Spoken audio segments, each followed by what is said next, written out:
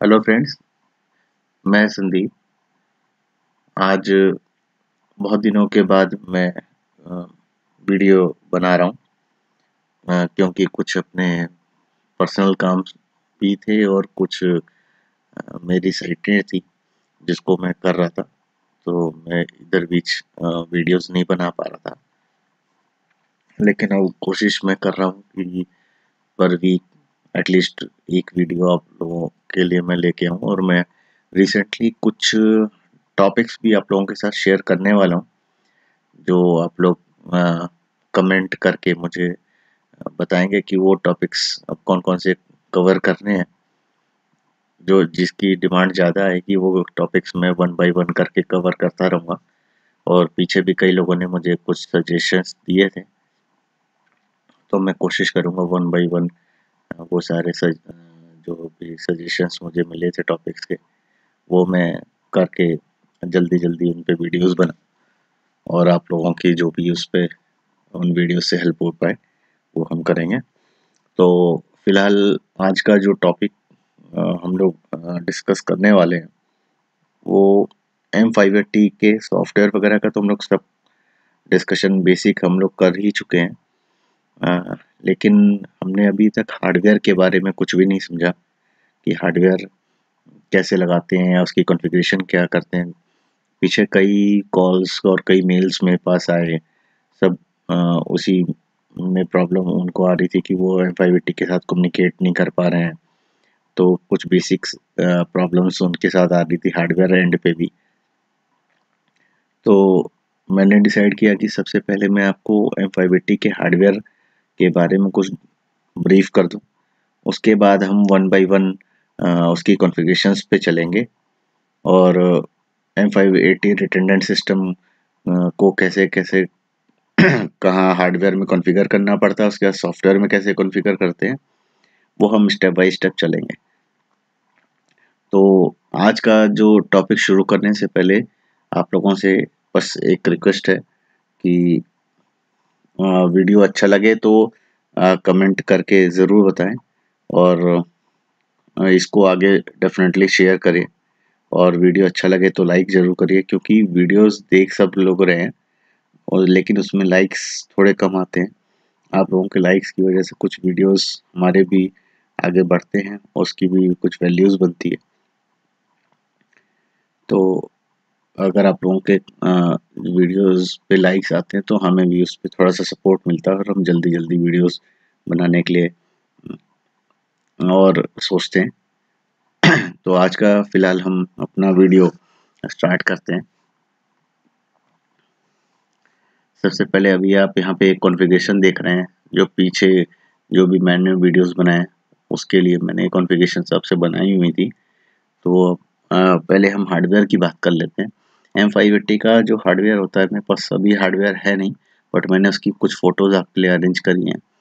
इस तरीके का एम फाइव एट्टी का कुछ हार्डवेयर रहता है।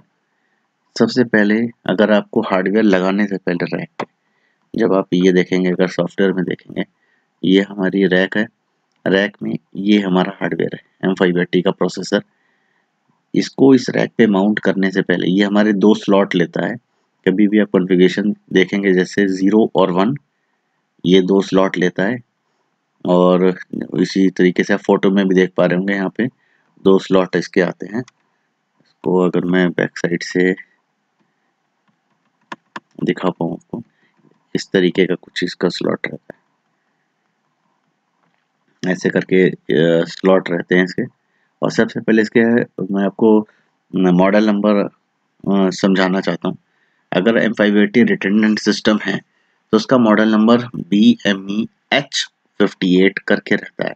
और अगर हम स्टैंड अलोन प्रोसेसर की बात करते हैं तो वहाँ पे पी जैसे यहाँ पे पी फिफ्टी एट आ रहा है, यानी ये हमारा स्टैंड अलोन प्रोसेसर होता है, और जहाँ पे एच की बात आ रही होती है, यानी हमारा रिटेंडेंट सिस्टम या हॉट स्टैंड बाई सिस्टम हम जिसको कहते हैं।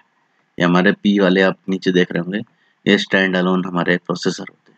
तो सबसे पहले आपको अपने जो भी हार्डवेयर आप यूज़ कर रहे हैं, उसका मॉडल नंबर भी पता होना चाहिए कि कल को अगर आप मेरे से भी सपोर्ट लेते हैं या किसी भी अपने कलीग से सपोर्ट लेते हैं तो आपको हार्डवेयर एटलीस्ट पता होना चाहिए। अगर आप किसी को हार्डवेयर बताएँगे, तभी आपको उसके लेवल पे सपोर्ट मिल सकती है।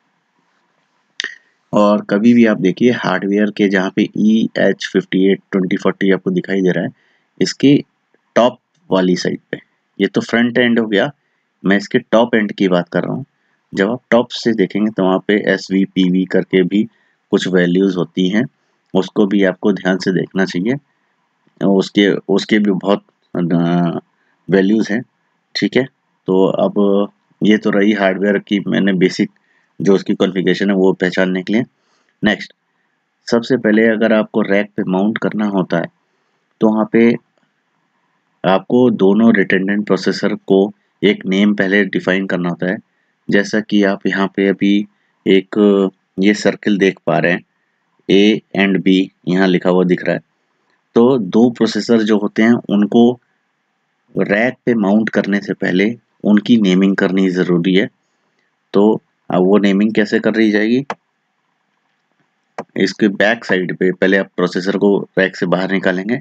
बैक साइड पे इस तरीके का आपके पास एक नॉब होता है, जो अगर आप अप साइड पे कर रहे हैं, जैसे अभी आप यहाँ पे पिक्चर में देखेंगे अप साइड पे यानी ए हो रहा है तो अगर आपने नॉब को अप साइड पे सेट कर दिया तो ये ए पे हो गया, और अगर आपने इसी को राइट साइड पे सेट कर दिया तो ये बी हो गया। ये नेमिंग आपको करनी बहुत ज़रूरी है।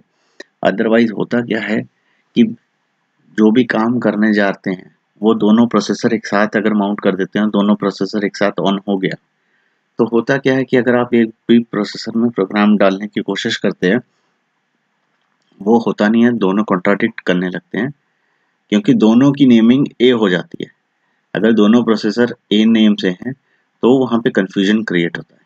जैसे लाइकवाइज अगर दो पर्सन सेम नेम के हैं और हम पीछे से अगर किसी को कॉल करते हैं तो दोनों कंफ्यूज हैं कि एक्चुअली किस पर्सन को हमें बुलाया गया। तो पहले रैक पे माउंट करने से पहले आपको उसकी नेम डिफाइन करना पड़ेगा उस हार्डवेयर का ए और बी इस तरीके से नॉब को आपको सेट करना पड़ेगा, उसके बाद आप रैक पे माउंट कर सकते हैं। और जैसे ही आप उसे माउंट कर देंगे और पावर ऑन करेंगे तो यहाँ पे आपको एक रेड कलर का मार्क दिख रहा है ए और बी तो जब भी ये अगर आपने जिस प्रोसेसर को ए सेलेक्ट किया, उसके में ए राइट ग्रीन होगी और बी ऑफ़ होगी। और अगर आपका बी ऑन है तो बी वाली लाइट ग्रीन होगी और ए वाली ऑफ़ होगी। ये आपका डिस्प्ले होता है एम फाइव का, जिसमें आपको डिफरेंट चीज़ें कई सारी मिलती हैं। जैसे एक रन की लाइट है, ये ग्रीन परमानेंट हेल्दी होनी चाहिए। ये परमानेंट हेल्दी होती है, यानी आपका प्रोसेसर रन मोड में है। आयो की लाइट होती है, ये अगर रेड है दैट मीन्स कि आपके कहीं ना कहीं सिस्टम में आयो में एरर है। ये रिमोट रन आ जाता है कि आपका सिस्टम रिमोट का रन है कि नहीं है। फिर इसी तरीके से कई सारी चीज़ें और आती हैं। अब यहाँ पे अगर आप एक चीज़ और देख पाएँगे प्राइमरी और स्टैंड बाई दो यहाँ पे आपको और मिल रहा है कि आपका ये प्रेजेंट ये जो प्रोसेसर भी रन कर रहा है, जैसे ए ऑन है और इसकी प्राइमरी वाली लाइट ग्रीन कर है। दैट मीन्स कि ये प्रोसेसर इसमें प्राइमरी है और जो बी वाला है, वो स्टैंड बाई पोजिशन में। पहली चीज़ तो ये हो गई। इसके बाद, इसके रिमोट आईओस होते हैं, जो मैं आपको पहले सॉफ्टवेयर में भी दिखा दूँ, जो हम लोग इथरनेट आईओस बनाते हैं अपने।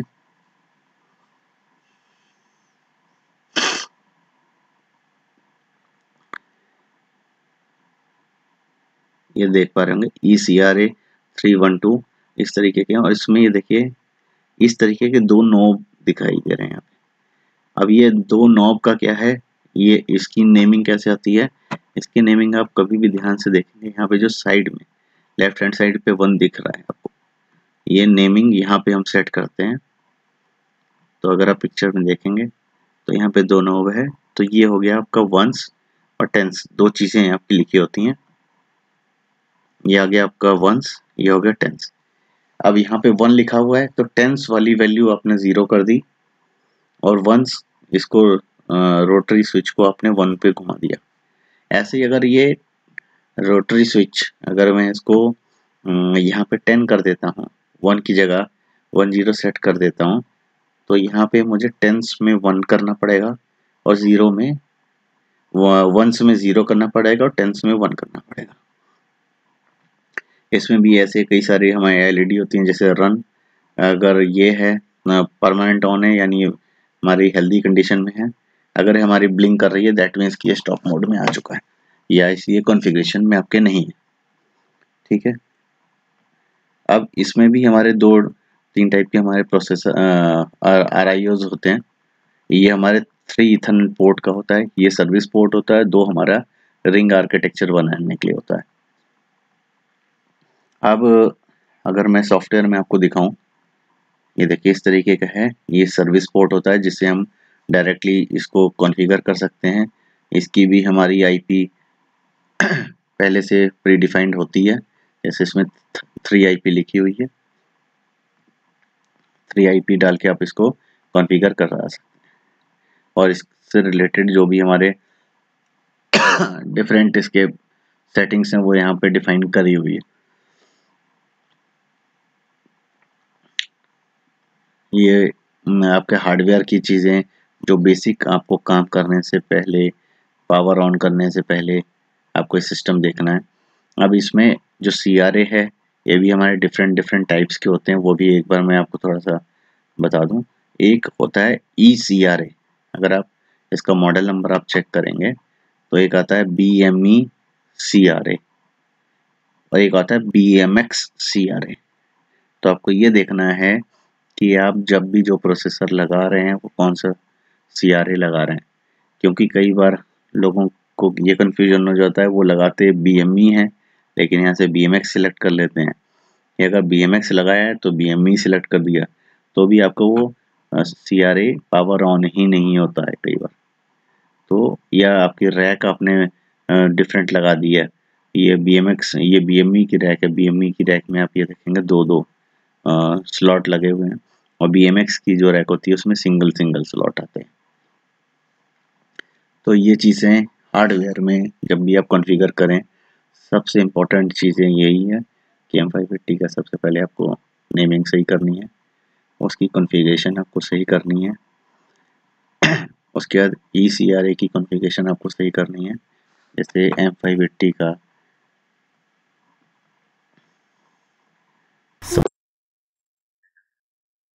ये ये एक सर्विस पोर्ट होता है। ये जो सेकंड पोर्ट है, यहाँ पे एम फाइव एट्टी का हमारा कॉन्फ़िगरेशन एक सेम बैकअप हम दोनों में डालते हैं। और जो इस प्रोसेसर की आईपी होती है, उसी की जस्ट नेक्स्ट आईपी आपके डिफरेंट प्रोसेसर की हो जाती है। जैसे one two one six eight ten dot one इसकी है। और जो तो आपका सेकंड प्रोसेसर होगा, उसकी one two one six eight ten dot two अब बाई डिफ़ॉल्ट हो जाती है। ये आप यहाँ पे देखेंगे तो मेन आईपी एड्रेस ये आ जाता है use for hot standby system आ गया। पहला पॉइंट ये हो गया। अब इसमें जो मैं आपको बता रहा था,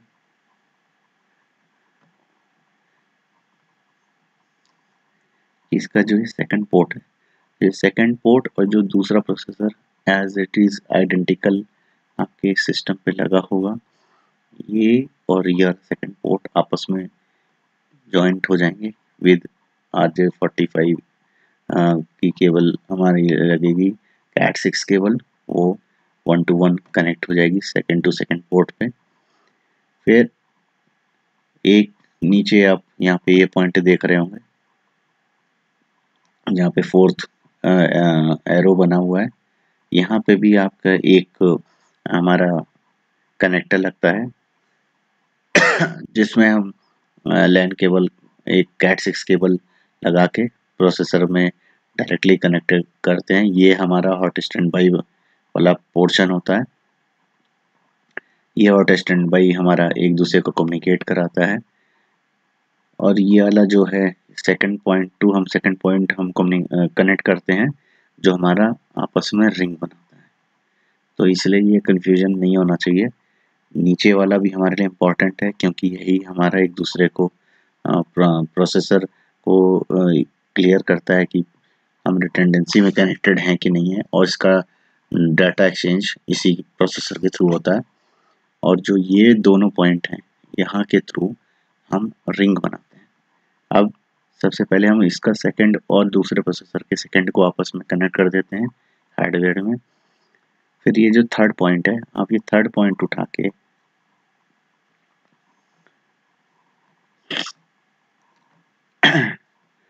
इस ई सी आर ए के सेकेंड पॉइंट में लगाएँगे। देन ये जो थर्ड पॉइंट है, ये अगर सेकंड कोई सी आर ए लगा हुआ है तो आप उसके सेकंड पॉइंट में लगाएँगे। और उसका जो थर्ड पॉइंट है, वो निकाल के नेक्स्ट सी आर ए अगर लगा है तो उसके में। और जो लास्ट सी आर ए होगा लास्ट सी आर ए का जो थर्ड पॉइंट है, वो उठा के आप सेकंड वाले प्रोसेसर के थर्ड वाले पॉइंट पे आप कनेक्ट करेंगे अभी आज मैं आपको जस्ट चीज़ें बता रहा हूँ। बाद में इसकी मैं आपको एक वीडियो और एक आर्किटेक्चर कैसे है, वो भी मैं आपको कोशिश करूँगा अवेलेबल करवाऊँगा। या अगर पॉसिबल होगा तो मैं इस वीडियो के साथ ही उसकी कुछ अटैचमेंट भी आपको लगा दूँगा, ताकि आपको वो चीज़ें समझ में आ जाए।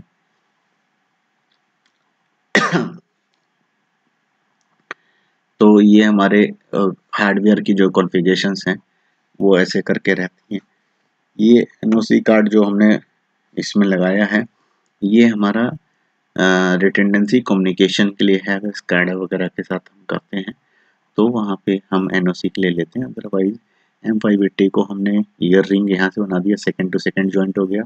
ये थर्ड से ई सी आर ए का सेकेंड और फिर वो करते हुए वहाँ से आके इसके थर्ड पे, और ये टोटल रिंग हो गया। तो अगर बीच में आपकी कोई भी केबल कहीं से कनेक्ट हर कनेक्शन हटता भी है तो भी आपका टोटली रिंग सिस्टम बना रहेगा और आपका डाटा एक दूसरे से एक्सचेंज होता रहेगा। तो ये रही आपकी हार्डवेयर की। अब हम बात कर लेते हैं कुछ सॉफ्टवेयर पे। तो इस तरीके से हमारा सॉफ्टवेयर ऑलरेडी ये बना हुआ है कॉन्फ़िगरेशन बनी है। इस कॉन्फ़िगरेशन में आके हम कुछ बेसिक चीज़ें देख लेते हैं। हम इथरनेट पॉइंट को खोल लेते हैं। यहाँ पे आके सिक्योरिटी पे आके अनलॉक सिक्योरिटी हमने कर दी है। और इसको हम वैलिडेट कर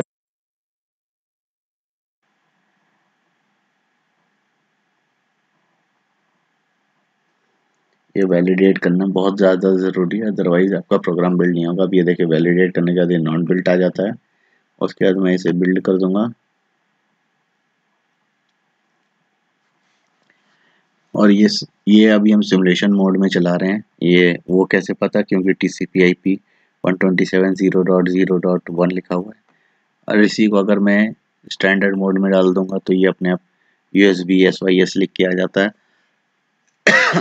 अब मैं सिमुलेशन मोड में इस प्रोग्राम को डाउनलोड करने वाला हूँ। तो सबसे पहले मैंने बिल्ड कर लिया, अब मैं कनेक्ट करता हूँ।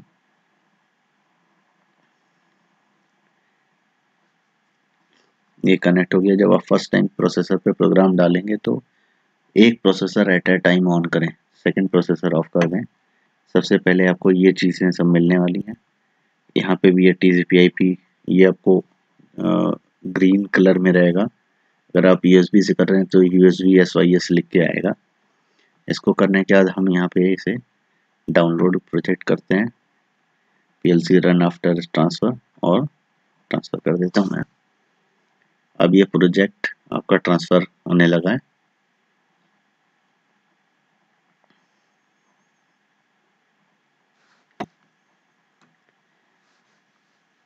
ये प्रोजेक्ट आपका ट्रांसफ़र हो गया। अब आप ट्रांसफ़र होने के बाद इसके एलिमेंट्री वेरिएबल में आएँगे।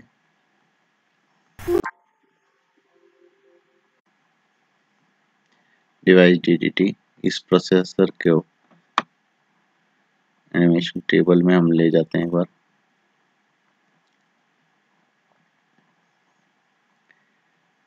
अब इस प्रोसेसर से रिलेटेड जो भी स्टेटस है, ये मैंने पहले की वीडियोस में भी बता दिया है।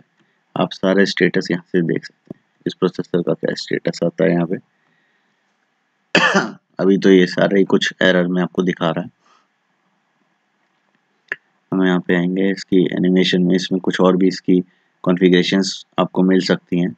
इस प्रोसेसर की कोई मेमोरीज के यहाँ ऐड करानी हो, पीछे वाले पोर्शन में था। ना हम यहाँ पे अगर आते हैं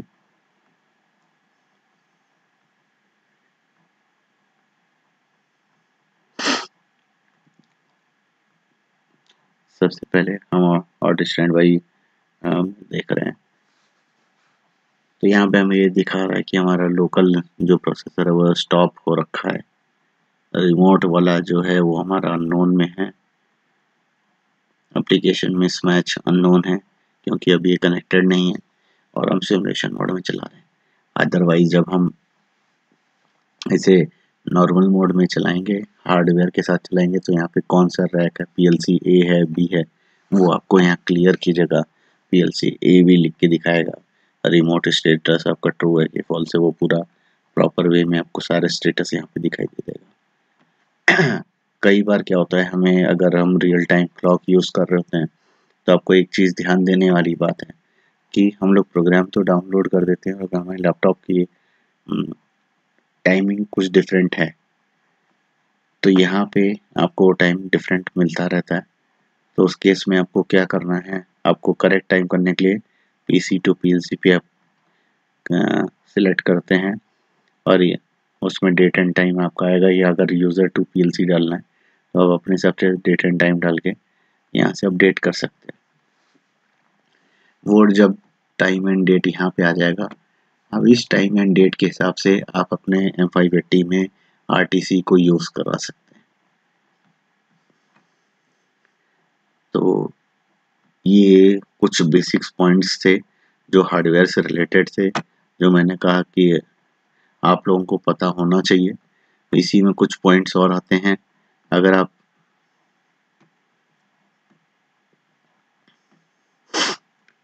यहाँ पे ऑनलाइन मॉडिफिकेशन इंटर्न और स्टॉप मोड कर देते हैं। तो अभी अगर मैं आपको दिखाऊँ कि मैं अगर कोई भी कॉन्फ़िगरेशन हार्डवेयर में चेंज हम्म, मैं कोई एक प्रोसेसर को ये इनपुट में डिसेबल करना चाहता हूँ। डिसेबल करना चाह रहा हूँ इसे वैलिडेट करता हूँ तो मेरे पास मैसेज आता है you must build this modification offline do you confirm the modification तो ये बोल रहा है कि आपको ऑफलाइन करना पड़ेगा। तो अभी फ़िलहाल मैं हटा देता हूँ। मैं इसको चेंज करने अभी दूसरे तरीके से से करूँगा। ताकि मैं इसकी कॉन्फ़िगरेशन भी ऑनलाइन चेंज कर पाऊँ। अभी मैंने हटाया हुआ है तो मैं इसकी कॉन्फ़िगरेशन ऑनलाइन चेंज नहीं कर सकता हूँ। मैं ऑनलाइन इसको validate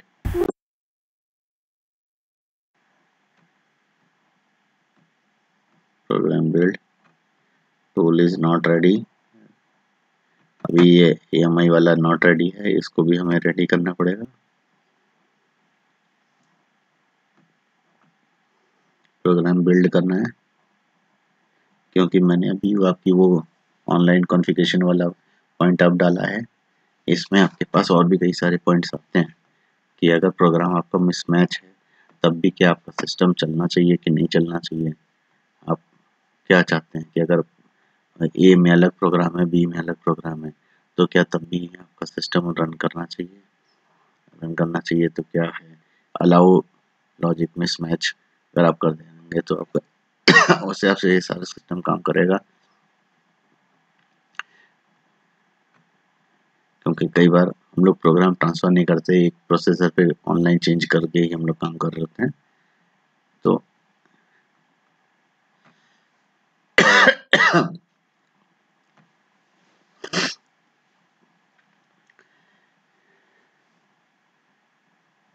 अभी हम इसको डाउनलोड कर दे रहे हैं।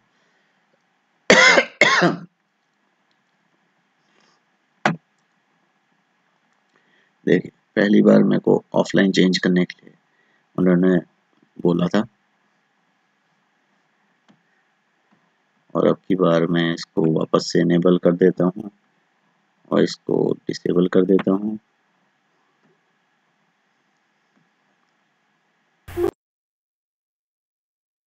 देखिए, अब की बार मेरे पास कोई मैसेज नहीं आया कि आपको ऑफलाइन करना ही पड़ेगा। इस बार इसने मेरा ऑनलाइन कॉन्फ़िगरेशन चेंजेस ले लिए। तो ये कुछ चीज़ें हैं जो हार्डवेयर और सॉफ्टवेयर दोनों एंड पे आपको पता होनी चाहिए। अदरवाइज़ बाय डिफ़ॉल्ट सब सिस्टम चलाते हैं। तो जब भी हम हार्डवेयर में कोई कॉन्फ़िगरेशन चेंज करते हैं तो हमें अपना सिस्टम डाउनलोड करना पड़ता है वापस से। लेकिन अगर आप वहाँ पे वो टिक कर देते हैं तो आप कॉन्फ़िगरेशन भी अगर चेंज करते हैं तो वो भी आपका ऑनलाइन चेंज हो जाएगा। उम्मीद करता हूँ आज का वीडियो आपके लिए कुछ यूज़फुल रहा होगा हार्डवेयर पॉइंट ऑफ़ व्यू से। अब आज के वीडियो में मैं बस इतना ही अभी चाहता हूँ कि आप हार्डवेयर को समझें और ने, कुछ वीडियोस अब मैं और जल्दी लाऊँगा, कुछ अच्छे टॉपिक्स के साथ। तो आप अपने टॉपिक्स वीडियो के कमेंट सेक्शन में ज़रूर डालें। और उस पर मैं कोशिश करूँगा जितनी जल्दी पर वीक एक वीडियो एटलीस्ट आपको दे पाऊँ। और मेरे पास कई लोगों ने डिमांड करी है कि अपना सो मशीन या एक स्ट्रक्चर मशीन एक्सपर्ट पे भी आ, कुछ हम वीडियोस बनाएँ। Like two four one two six two और two five one two one eight जैसे प्रोसेसर पर काम करने के लिए। आ, तो उस पर भी मैं वीडियो लेके आऊँगा।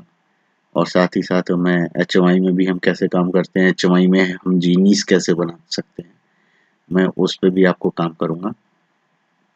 मुझे सपोर्ट करने के लिए बस आपको वीडियो को लाइक करना है शेयर करना है और कमेंट सेक्शन में अपने फीडबैक्स देने। तो अब मैं कोशिश करूँगा एज सुन एज पॉसिबल मैं आपके लिए वीडियोस लेके आऊँ। आज की वीडियो में बस इतना ही। मिलते हैं जल्दी कुछ अच्छे और बढ़िया टॉपिक्स के साथ।